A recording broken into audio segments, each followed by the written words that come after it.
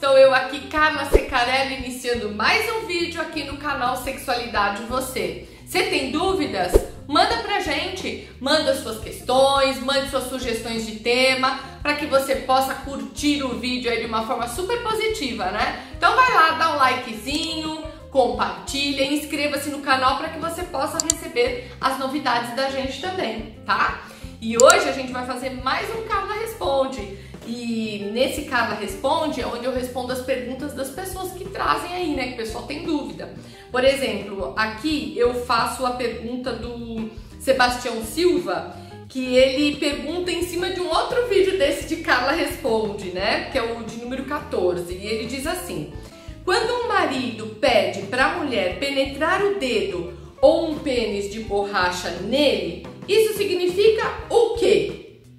Bom, Sebastião, não necessariamente é o que muita gente pensa. Ah, então o cara é gay. O cara é gay, ele não assume que é gay e ele então uh, fica querendo isso porque ele gosta de ser penetrado, então por isso ele é gay. Não tem nada a ver uma coisa com a outra. Isso pode fazer parte de uma grande fantasia, né? Porque a região do ânus é uma região ela, que, ela tem muitos nervos ali, né? É uma região muito inervada. Então, quando o homem ele fica excitado, que ele tem a ereção, não é? é toda aquela região, ela também fica bastante é, irrigada de sangue, né? Porque o pênis enche de sangue e toda a região também fica.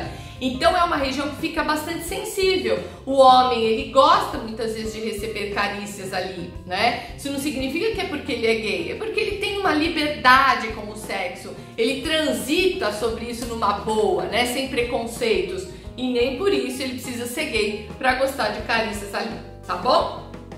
Bom, temos a outra pergunta agora, que é, é do Leandro Santos. Ele também faz uma pergunta em cima de um Carla Responde, de um vídeo de Carla Responde, o número 20. E ele diz assim: Oi Carla, o homem pode usar aquele sabonete íntimo que a mulher usa? Olha, Leonardo, é, ele pode, né? É que os efeitos para o homem não são os mesmos para a mulher, mas é, pode usar, não tem problema nenhum, né? Vai ficar tudo limpinho, tudo em ordem. O importante é fazer uma ótima higiene. Isso é o que interessa. Pode usar sim sem problema algum, ok?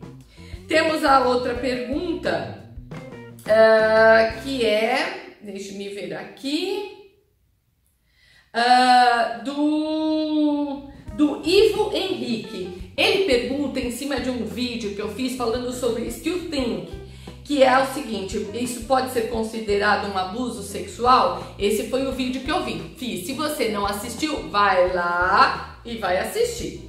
E ele diz assim: Olá, Carla Secarello. Sou novo no seu canal e tenho adorado seus vídeos.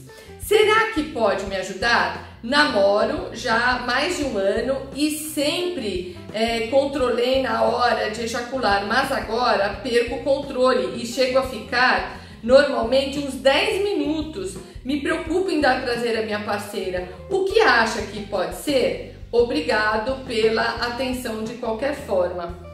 Ivo, eu não entendi muito bem aqui a sua colocação, mas pelo que eu tô entendendo, você é, tá ejaculando né, antes do que você gostaria, né? Você tinha controle dessa ejaculação, é, usava disso como uma forma talvez para evitar é, uma gravidez indesejada, só que agora você não tá tendo mais esse controle.